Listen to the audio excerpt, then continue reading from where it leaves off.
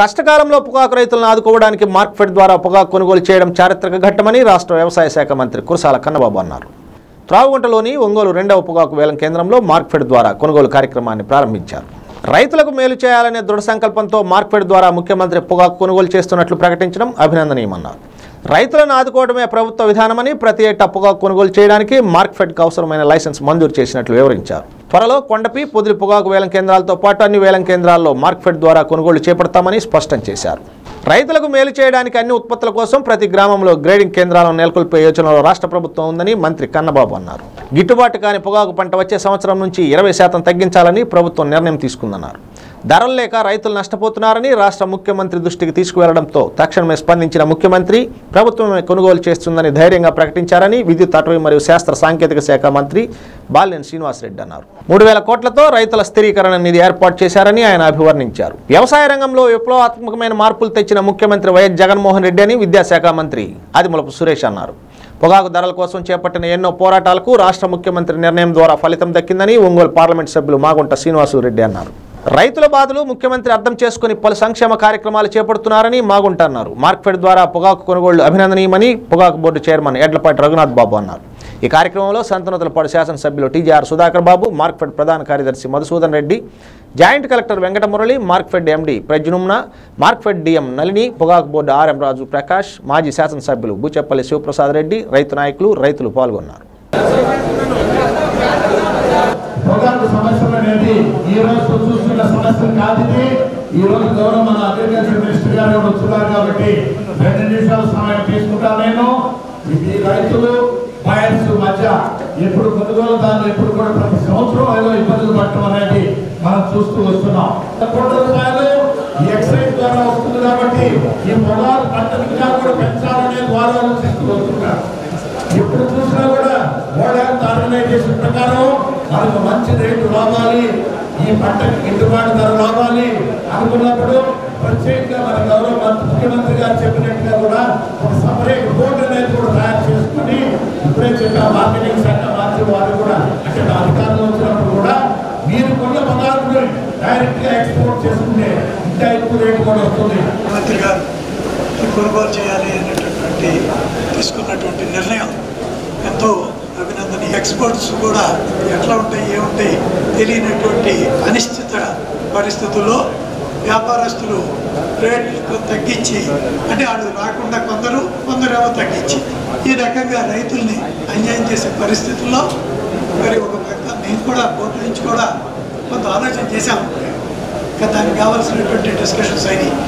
కానీ మరి మేము అసలు నేను వయసులో ఎక్కువ కాబట్టి నిదానంగా ఎంత మన ముఖ్యమంత్రి గారు మంచి వయసులో ఉన్నారు కాబట్టి చాలా డాషింగ్గా నిర్ణయం తీసేసుకున్నారు పొగాకు రైతులకు వారు పండించిన పంటకు గిట్టుబాటు ధర కల్పిస్తూ ప్రభుత్వం మరి ముఖ్యంగా మన గౌరవ ముఖ్యమంత్రి వర్యులు శ్రీ వైఎస్ జగన్మోహన్ రెడ్డి గారు నేనున్నాను నేను విన్నాను నేను కన్నాను అని చెప్పి ఆయన ఏ విధంగా చెప్పారో దాన్ని తూచా తప్పకుండా పాటిస్తూ విశ్వసనీయతకు చిరునామాగా ఈరోజు పొగాకు రైతు సోదరులకు బాసటగా నిలుస్తూ వారు పండించిన పంటకు గిట్టుబాటు ధర కల్పించడానికి ప్రభుత్వ ఇంటర్వెన్షన్గా మార్క్ఫెడ్ను బయర్గా ఈరోజు ఈ రోజు యొక్క టొబాకో ప్లాట్ఫామ్స్లో దించడం అనేది నిజంగా ఒక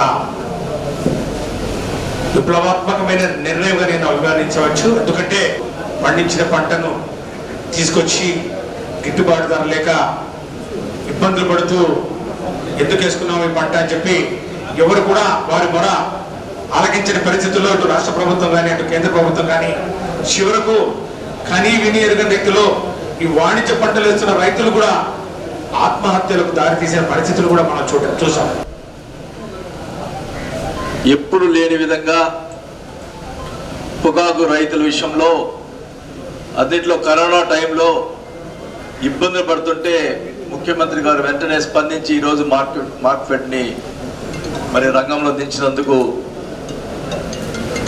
ఈ రకమైన డేరింగ్ స్టెప్ తీసుకున్నటువంటి ముఖ్యమంత్రి గారి మొదట మనం అభినందించాలని కూడా తెలియజేస్తున్నాం తగ్గించుకుంటే మంచిది ఎందుకంటే మన గిట్టుబాటు ధర ఎక్కువ వచ్చే అవకాశం ఉంటుంది కాబట్టి పంట పెంచుకున్నామంటే మళ్ళీ ఇబ్బంది పడతావు కాబట్టి ఈ సంవత్సరం ఏదైతే పంట వేసారో అంతే పంట వేయండి కూడా తెలియజేసుకుంటా ఉన్నా. దయచేసి ఖచ్చితంగా కూడా మీకు ఇబ్బంది లేక చేస్తారు కానీ దానికి ఏదో చేస్తున్నారు కదా గవర్నమెంట్ అని చెప్పి కూడా మనం కూడా మనం పంట ఎక్కువ వేసుకొని మళ్ళీ మళ్ళీ ఇబ్బంది పడకుండా చేసుకోవాల్సిన అవసరం ఉందని కూడా తెలియజేసుకుంటా ఉన్నా. మరి ముఖ్యంగా ఈ రైతులు ఇబ్బంది పడుతున్నప్పుడు మన అగ్రికల్చర్ మినిస్టర్ గారు బయస్ని అందరి అందరిని కూడా మరి అధికారులతో కూర్చొని టొబాకో బోర్డు మరి అందరితో తీసుకొని అందరూ కూడా మాట్లాడటం జరిగింది. రైతు కోసం ఆలోచించిన మొట్టమొదటి నాయకుడిగా దివంగత ముఖ్యమంత్రి డాక్టర్ వైఎస్ రాజశేఖర రెడ్డి గారు గుర్తొస్తే నాన్న ఒక అడుగు ముందుకేస్తే నేను రెండు అడుగులు ముందుకేస్తానని చెప్పిన జగన్మోహన్ రెడ్డి గారు ఇవాళ గుర్తొస్తా ఉన్నారు ముఖ్యమంత్రిగా. ఒకటే చెప్పారు ఆయన నష్టపోవడానికైనా ప్రభుత్వం సిద్ధంగా ఉండండి కొనుగోలు ఇమీడియట్గా రేపే స్టార్ట్ చేయండి అని చెప్పారు. ఆ ప్రకారం నిన్న మనం స్టార్ట్ చేయడం జరిగింది. తర్వాత పెద్దలు శ్రీనివాసరెడ్డి గారు నేను సురేష్ గారు ఇతర ముఖ్యులందరూ కూడా ముఖ్యమంత్రి గారిని కలిసినప్పుడు మేము చాలా క్లియర్గా ఆయనకి చెప్పాను సార్ మీరు ఇంటర్వ్యూన్ అయితే మీరు నేరుగా సమావేశం అయితేనే తప్ప దీంట్లో పెద్దగా మార్పు వచ్చేలా కనిపించట్లేదు. మేము మాట్లాడితే కోవిడ్ అంటున్నారు ఎగుమతులకి అవకాశాలు లేవంటున్నారు అని చెప్తే తక్షణమే ఆయన అసెంబ్లీ జరుగుతున్నప్పుడు పద్దెనిమిదో తేదీన మీటింగ్ పిలిచారు. అదేవిధంగా నో గ్రేడ్ కూడా చేయడం జరిగింది. ఇవాళ ఇప్పుడే చెప్తున్నారు ఫస్ట్ టైం ఎఫ్ అని కూడా ఇంతకుముందు మేమందరం కూడా అక్కడ ఉన్నప్పుడు ప్లాట్ఫామ్ మీద two hundred and five rupees రెండు వందల ఐదు రూపాయలు రేటు పలికింది వాళ్ళు అదేవిధంగా నో గ్రేడ్ కూడా దాదాపుగా ఎనభై రూపాయలు దాటి పలికింది. ఎఫ్ ఫోర్ వంద రూపాయలు. ఎఫ్ ఫోర్ కూడా F three one seventy and F four one nought two F five eighty five F eight hundred rupees వరకు వచ్చింది అవసరమైతే స్టేటే రాష్ట్రమే ఒక బోర్డుని ఏర్పాటు చేసి టొబాకో బోర్డుని మిగతా కమర్షియల్ క్రాప్స్ ఏ విధంగా అయితే చేస్తా ఉన్నామో అదే విధంగా ఈ క్రాప్ను కూడా టేకప్ చేసినట్లయితే పూర్తి బాధ్యత ప్రభుత్వం తీసుకుంటే ఇంకా మెరుగైన ఫలితాలు వస్తాయి రైతులకు మంచి జరుగుతుందని ఒక సూచన చేశారు.